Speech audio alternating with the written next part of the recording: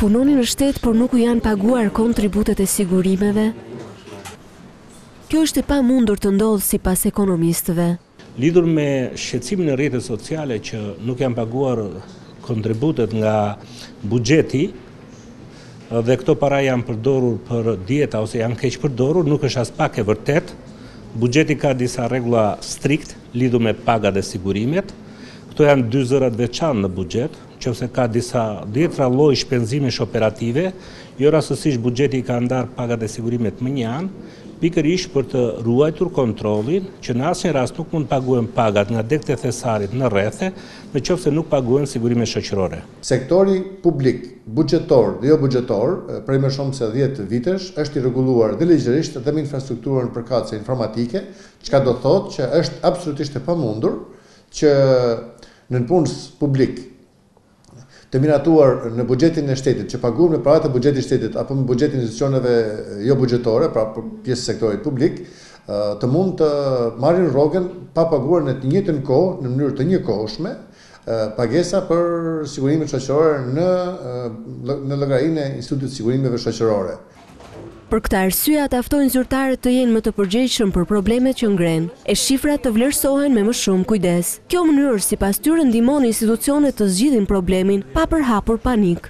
Qeveritarët gjithmonë duhet të bëjnë kujdes, e para është detyrim bazë që çdo shifër të jetë e saktë, të jetë e rakorduar dhe kur problemi identifikohet, bashkë me të të sqarohet dhe zgjidhja. Për sa kohë që nuk ka folë, INSTAT, nuk ka folë Instituti i Sigurimeve Shoqërore, nuk ka folë thesari i shtetit, janë për t'u marrë me rezervë për të mos thënë që nuk janë subjekt i komentit nga ana ime. Është pozitive që debatohet për nivelin e lartë të informalitetit dhe në të njëjtën kohë është ka një kakofoni zërash, shifra deri në kufijtë e pamundësisë. Përmendja një mijë e gjashtëqind institucioneve lidhet ndoshta me nënpunës të përkohshëm të marrë me kontratë në periudha fushate apo në në ndërmarrje të mëdha siç ka qenë në Lëvizje apo ndonjë tjetër, por kurrsesi nuk mund të bëhet fjalë për disa dhjetra mijëra apo për më keq për dyqind e pesëdhjetë mijë kur gjithë sektori publik ka diku tetëdhjetë e gjashtë, tetëdhjetë e shtatë mijë të punësuar.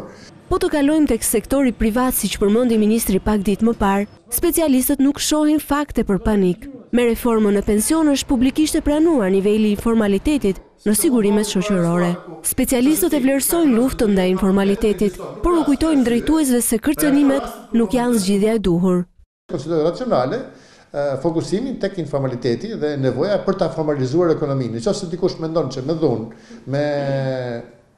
metoda represive mbi biznesin do të nxjerrë detyrimet e viteve të shkuara, apo do t'i detyrojë të paguajnë në ditët e sotme, mendoj se kjo është e gabuar dhe e dëmshme, e padobishme për ekonominë, pasi mund t'inkurajojë falimentime të firmave për shkak të akumulimit të detyrimeve të papaguara. Duhet të përmirësojmë në maksimum mbledhjen e të ardhurave, Të kemi politika që e formalizojmë informalitetin, sepse jo vetë nuk janë thjesht gjobat ato që e formalizojnë, por mbi të gjitha të kemi përgjegjshmëri maksimale në njohjen e problemeve, në pasqyrimin e saktë të përmasave të tij dhe sidomos në ndërtimin e strategjisë për ta reduktuar këtë shqetësim në të ardhmen. Sipas ekonomistëve deklaratat e fundit të përfaqësuesve të qeverisë mbi pagesat e kontributeve, Vetëm sa krijojnë panik mes punonjësve. Panik që i bën dëm një ekonomie e cila sipas vlerësimeve të Komisionit Europian është rritur vetëm një pikë tetë për qind gjatë vitit të kaluar.